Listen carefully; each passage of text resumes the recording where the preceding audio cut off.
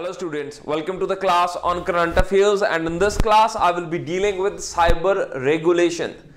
Now before we understand the regulatory process and how to regulate the cyberspace, it is important to understand about what is cyberspace. Now cyberspace is a new type of space that has been created by the ingenuity of mankind. Now, human race has created this new space. This is a virtual space. This is a boundaryless space. This is a space which has least of the regulation.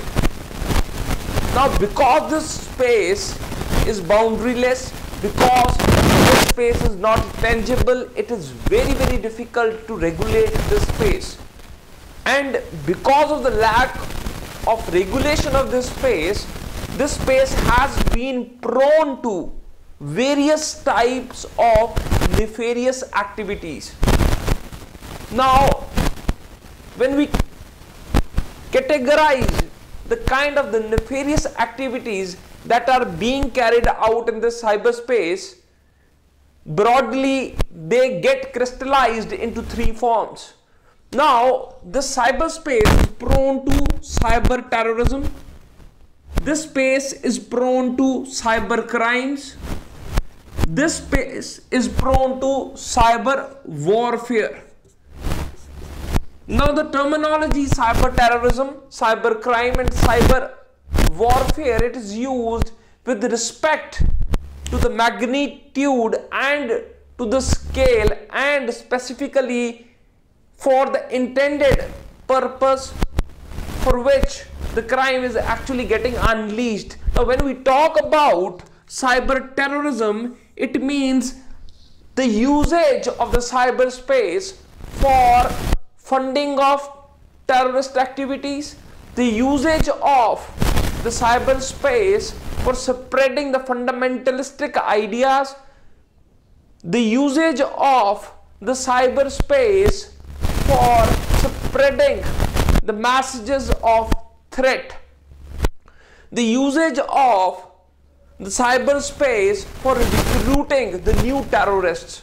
So these types of crimes, when they're committed, they come under the category of cyber terrorism.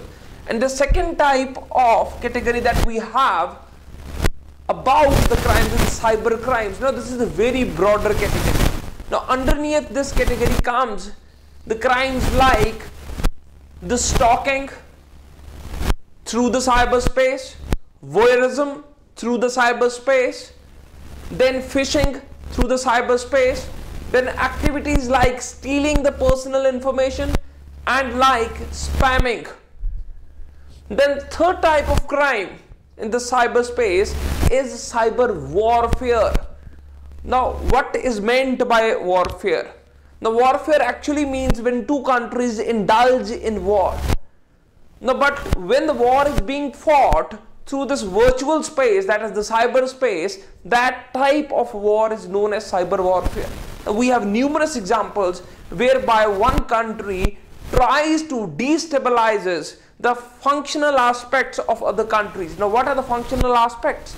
The functional aspects like the working of traffic, the working of traffic line, lights, then the working of electricity, then the working of the nuclear setups. Now all these things, the, all the modern industry is actually controlled through the cyberspace.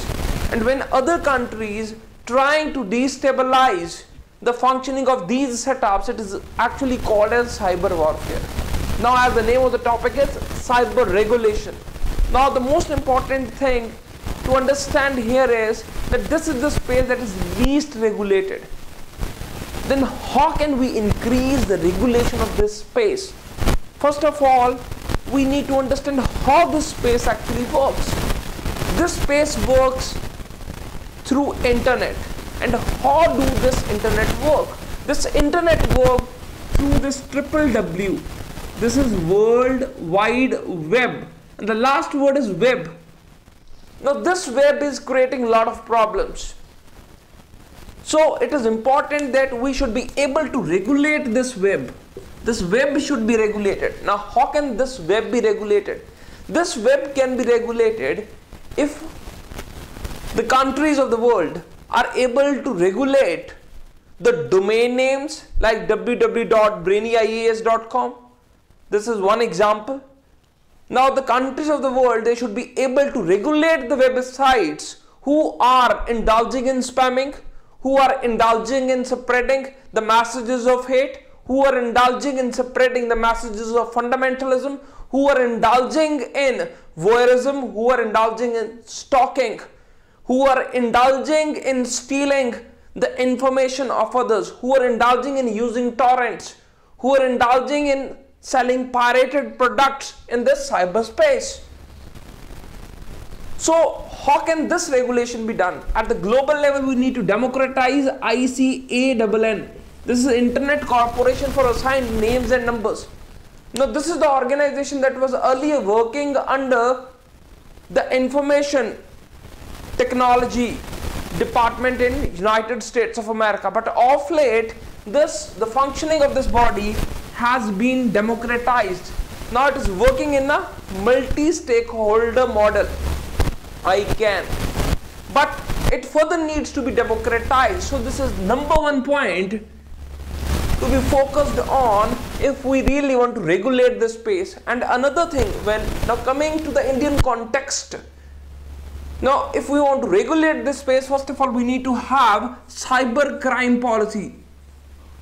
Now we don't have a cyber crime policy, though we have a cyber policy that was enacted in the year 2013, but we really need to have cyber crime policy the specific policy defining the crimes. Now presently the cyber crimes are defined under IT Act Information Technology Act but that is not sufficient. That doesn't empower the agencies legally to tackle this crime. And then we need to have effective coordination between the agencies already operating because we have seen that there is a lot of iteration fight that goes on between NTRO or National Technical Research Organization and, and the Ministry of Information and Technology. So this iteration needs to be stopped. So there needs to be better coordination between NTRO and this. And we also need to establish NAT grid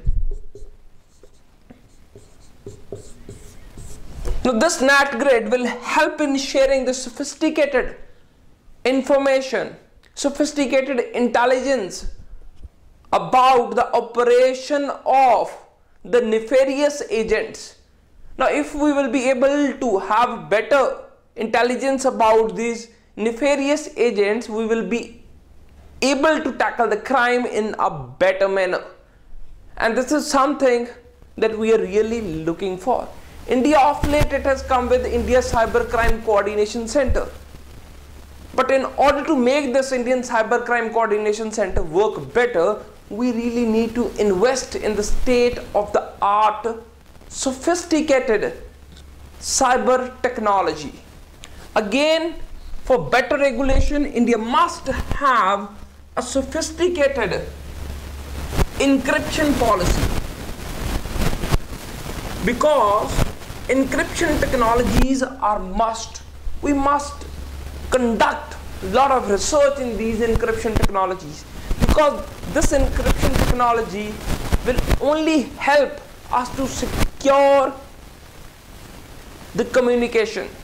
The communication lanes, the cyber communication lanes should be guarded properly. They should be shielded properly.